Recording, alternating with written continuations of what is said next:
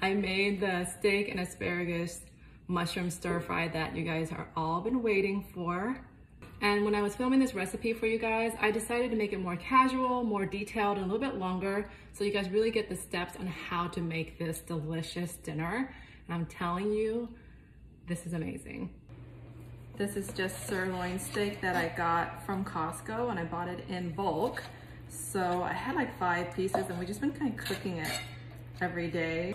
And I promised you guys I'd make the steak and asparagus mushroom stir fry, so I'm using the last piece for you guys. A little bit of baking soda. This is like a Chinese restaurant hack or trick to tenderize your steak is to add some baking soda before you start your marinade. Mix that in. One of the top like 10 sauces that you should have in Asian household is oyster sauce. We use it in almost everything. A little bit of thick soy sauce, again, goes a long way. So now you need to balance the oyster sauce and the thick soy sauce. They're both very salty. So a little bit of brown sugar help balance that out, but not too much because we're frying this and you don't want it to burn. Pepper. I'm pretty generous with pepper when it comes to steak. And this is a marinade that you could cook right away. There's no need to wait. So asparagus, you wanna get rid of this hard, rough part and just kind of feel it out until it snaps off.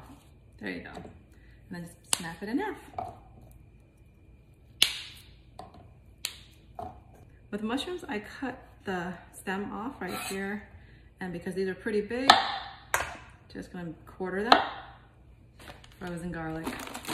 I buy my garlic already peeled and I just put it in the freezer And because I'm just making this for our dinner, I don't really measure ingredients. I kind of just eyeball and taste as I go. Um, it's only when I make recipe videos intentionally that I actually write down all the ingredients to make sure that you guys get it right at home.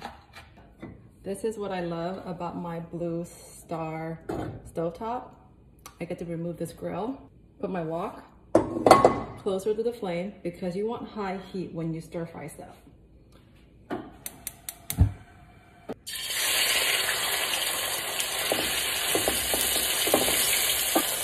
I don't usually recommend cooking so much steak in one batch because sometimes if the heat is not high enough, it will steam instead of fry and it will start leaking out some of the juice from the meat. And then you'll get like a lot of water in, in this pot. And then the steak will shrink. And you don't want that. But I'm trying to spread it out. The heat is pretty high enough that I feel comfortable cooking it in a big batch. Now we can mix it. I mean, look at that. I'm just cleaning the wok with a wet paper towel. I have a trick when it comes to cooking asparagus. It's basically like semi-cooked asparagus for me, so when I stir fry it, it doesn't burn on the outside and undercook on the inside. I only do it for 45 seconds to a minute and I just drain the water. And put it back on the heat and just let the water evaporate before I add any butter. I totally forgot to add the garlic to the steak. Ah! We'll improvise. All right, butter going in.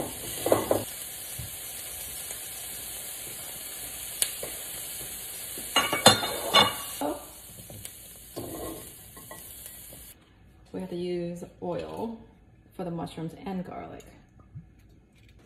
Mushrooms.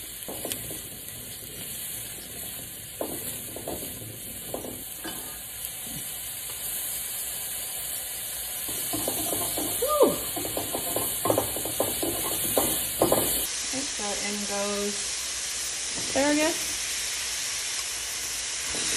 Steak. Wow. Right?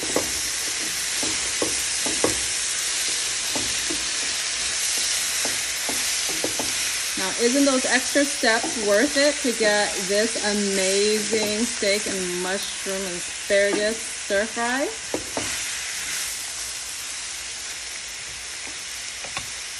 And just a little salt for the mushroom and asparagus. They didn't have any seasoning.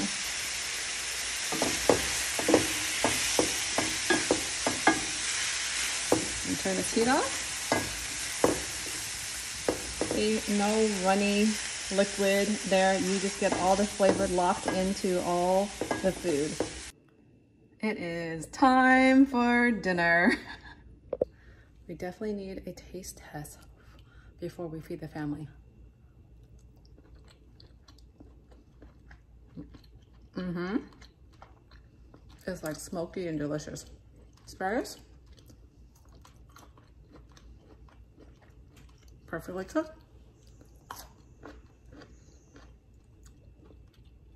I love mushrooms. Oh, this one, look, this one looks a little hot.